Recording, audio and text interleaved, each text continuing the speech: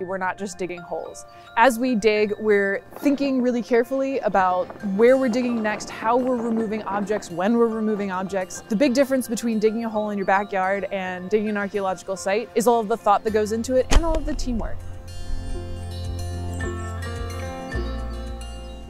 So World Archaeology is primarily um, a class where we work on things like discovering different methodologies or reviewing different methodologies. We talk about site management, everything from licensing and grants and permissions, things like that, to the technical methodologies of excavation. The dig simulator first came about because I thought it would be nice to have students get some hands-on experience. The simulator kind of gives them a chance to get a good running start, to feel what it's like to actually excavate, to get out there, get their hands dirty, really get involved in archaeology as a whole.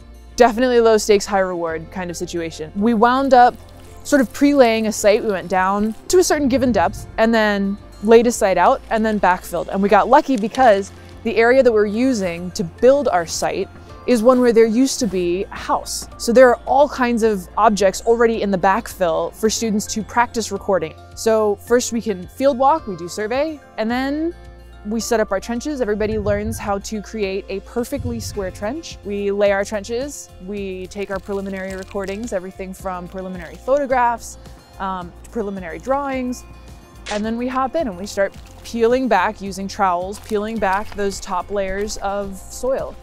I think this class gives a better appreciation of scholastic archaeology. Uh, not the Indiana Jones stuff, but it sort of contextualizes history, that having the chance to excavate a site that has been put together by hand where we should be able to figure out what everything is. Nothing integral is missing from the picture. I think it, it gives students a better grasp of, of what we do, how difficult it can be, but how much fun it is. And it sort of brings history to life. They learn what it feels like everything from weather to the feel of the different soils to recognizing different soil consistencies and colors.